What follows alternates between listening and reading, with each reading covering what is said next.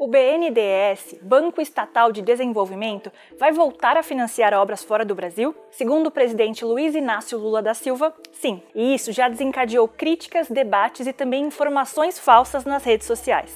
Mas como funcionam esses empréstimos? E para que tipo de projetos eles seriam usados? Eu sou Julia Brown, da BBC News Brasil em Londres, e neste vídeo explico como esse programa de financiamento para projetos no exterior funciona e quais são os ganhos, desvantagens e riscos para o Brasil. Para começar, vamos entender o programa. Lançado em 1998 no governo FHC, o chamado Projeto de Financiamento à Exportação de Bens e Serviços de Engenharia do BNDES é um subsídio para empresas brasileiras venderem bens ou executarem serviços no exterior. Olha só como funciona usando o exemplo de uma obra de infraestrutura. O BNDES empresta o dinheiro em reais a uma empresa brasileira para que ela participe de uma obra no exterior. Ou seja, diferente do que dizem algumas postagens nas redes sociais, quem recebe o dinheiro é a empresa brasileira e não o governo estrangeiro. Mas depois, quem paga o empréstimo são os países ou companhias de fora que contratam o serviço da empresa brasileira. A dívida é paga com uma taxa de juros anual, definida num acordo entre o governo brasileiro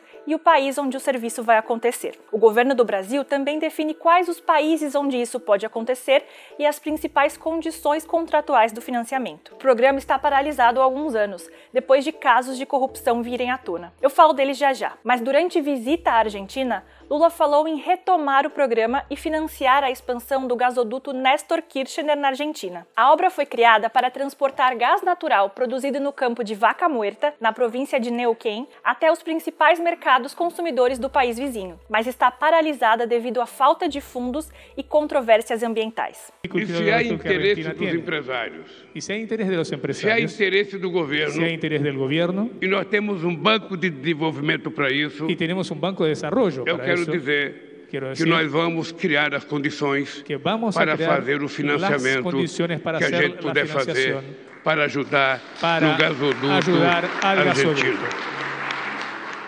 Se o projeto tiver continuidade, há planos para que, numa fase futura, o gasoduto se conecte com o Rio Grande do Sul.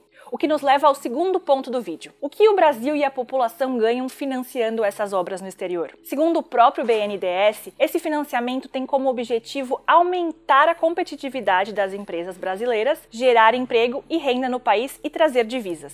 As maiores polêmicas nesses empréstimos envolveram obras de infraestrutura, mas o programa vai além disso. Exemplo disso é que um caso de sucesso do BNDES é o da Embraer, que conseguiu cavar seu espaço no competitivo mercado de aviação internacional com a ajuda do banco. A ideia defendida pelos apoiadores é que, por meio dos empréstimos, as companhias locais possam expandir seu mercado, exportar tecnologias e se desenvolver. Seria como dar um empurrãozinho, especialmente para as empresas mais novas e que atuam em mercados mais competitivos. Ao mesmo tempo, defende-se que os novos empreendimentos no exterior possam beneficiar de alguma forma o Brasil. No caso específico do gasoduto argentino, a expectativa é que, no futuro, ele possa representar uma nova fonte de gás para o Brasil. Mas um problema é que o gasoduto seria perfurado usando uma técnica conhecida como fracking, muito criticada e até proibida em alguns países por contaminar a água, a terra e o ar. Bom, de volta ao BNDES, ao todo foram desembolsados cerca de 10,5 bilhões de dólares para empreendimentos de financiamento em 15 países no período em que o programa programa funcionou entre 1998 e 2017. Economistas apontam que existem desvantagens e riscos nesse programa. Vamos a eles. Em primeiro lugar,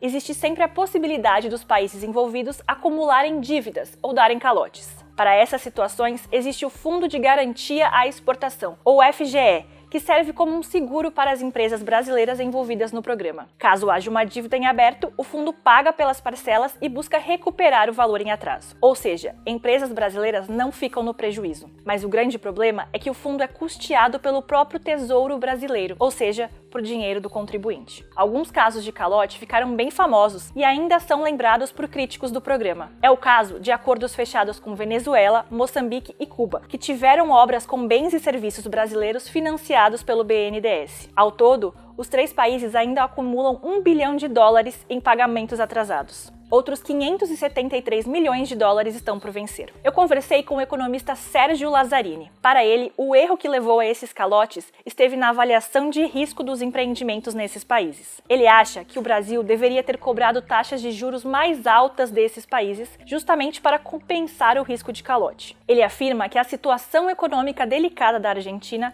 também traz riscos parecidos no caso do gasoduto de Vaca Muerta. O próprio BNDES reconhece que pode precisar adotar novas formas de se proteger de calotes. Mesmo assim, economistas como Nelson Marconi acham que isso não seria suficiente para trazer benefícios ao Brasil no caso do gasoduto argentino. Ele me explicou que ainda não existe uma infraestrutura pronta no país para que o gasoduto se conecte com o Rio Grande do Sul. E não se sabe a que custo a Argentina venderia esse gás para o Brasil. Mas um terceiro ponto crucial por trás das críticas ao programa é a falta de transparência e os casos de corrupção. As suspeitas sobre obras no exterior que usaram serviços de empresas financiadas pelo BNDES surgiram com as investigações da Lava Jato.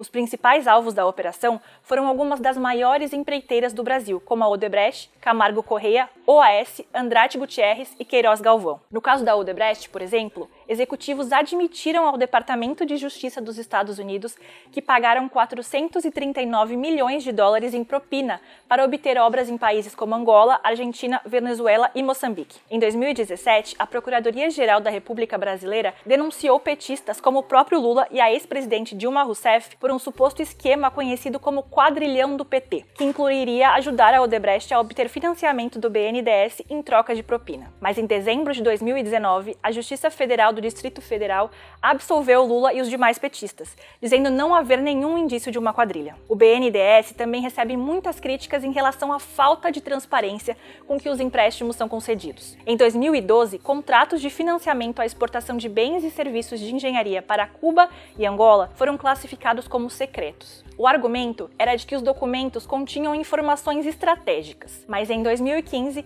a classificação foi cancelada e hoje os extratos dos contratos como as condições financeiras estão no site do BNDES. Essa discussão foi bastante explorada durante a campanha eleitoral de 2018, quando Jair Bolsonaro e aliados diziam haver uma suposta caixa preta do BNDES. Durante o governo Bolsonaro, foi feita uma investigação atrás de supostas irregularidades nos empréstimos do banco a países, aspas, comunistas, nas palavras de Bolsonaro. Em 2020, após um ano e dez meses de investigação e 48 milhões de reais gastos com auditoria, um relatório não apontou nem nenhuma evidência direta de corrupção. Mas e aí? Depois de ouvir todos os pontos desse vídeo, você acha que há mais vantagens ou desvantagens nesse programa? Deixe a sua opinião aqui nos comentários.